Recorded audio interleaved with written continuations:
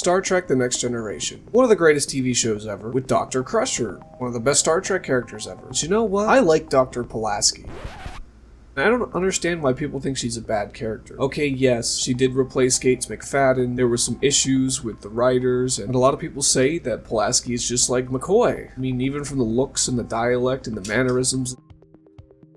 But okay, that may be true. I really like Pulaski as a character. She's not as naggy as Dr. Crusher is in the first season. It's weird going into the second season and, and having Pulaski just show up. Not a proper send off to Crusher. Then Crusher comes back in season three and Pulaski's long gone with just like, oh yeah, they switched. But I think the character dynamic and the relationship that Pulaski formed with Jean-Luc Picard is good.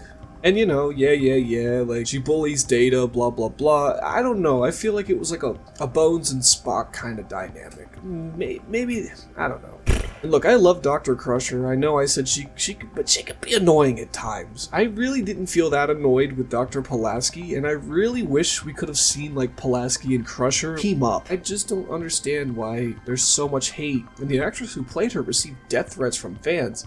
And that's one thing I don't understand either. Those fans suspended their disbelief so far to cause hate towards the actress and threaten their life. I don't get it. I think there are a lot of crucial moments in season two that without Pulaski wouldn't have been good. I just don't get the heat. I watch different channels on YouTube who talk about Star Trek The Next Generation, and they always shit on Pulaski. There's never anything good said about the character. I think the character's good. I think it's fine. I think Dr. Crusher is better. Kind of. Dr. Crusher was around more, and her character grew more, and we grew to love Dr. Crusher. So, but in season one, I'm actually not the biggest fan of her. I think when she came back and they gave her more character opportunities and better writing, a lot better storytelling but with Pulaski, she really grew on me real quick. I really don't know what else to say other than I really like the character. Yeah, I just don't get it.